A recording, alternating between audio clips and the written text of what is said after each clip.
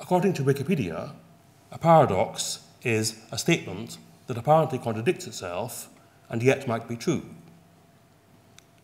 Since logic proceeds by avoiding contradictions, a paradox is a serious challenge to the logic on which mathematics is based.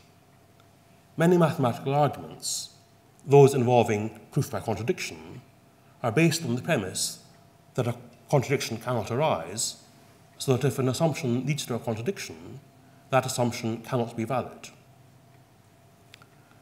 For example, suppose I want to prove that if n is an integer, such that n squared is an odd number, then n itself must be odd. I prove this by assuming I have a contrary example, and I aim to derive a contradiction from that assumption.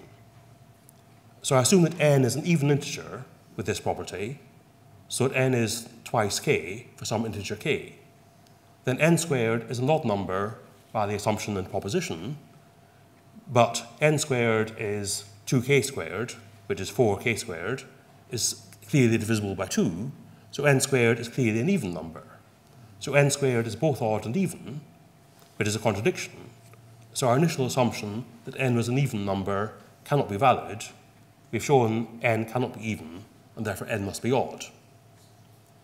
So that's a simple and not very interesting proof by contradiction, but a paradox is a challenge to this kind of proof because our argument depends on the fact that a contradiction must be impossible. You might think that in an ideal world there would be no paradoxes.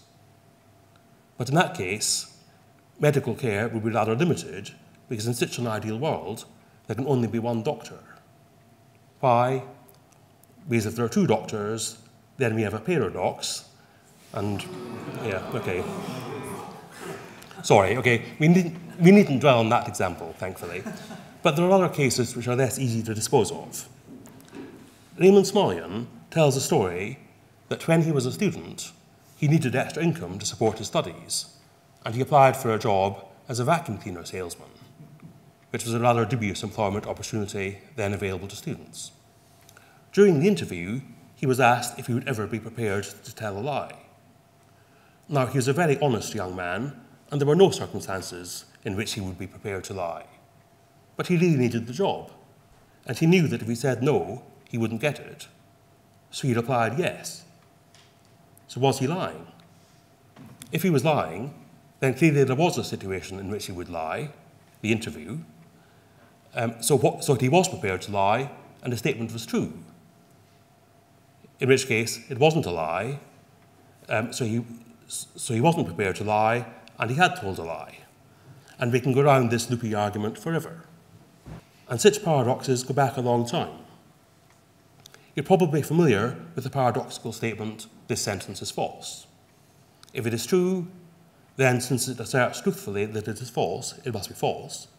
If, on the other hand, it is false, it claims falsely that it is false, so it must be true.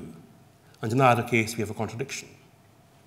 This is a version of the Cretan paradox, Someone who is themselves a Cretan says all Cretans are liars.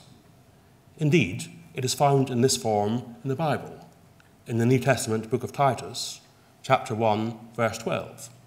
One of themselves, even a prophet of their own, said, The Cretans are always liars.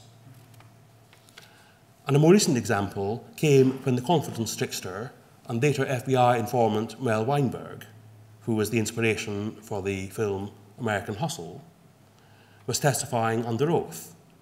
He admitted that he had once described himself as the world's biggest liar, but he said he'd been lying when he said that.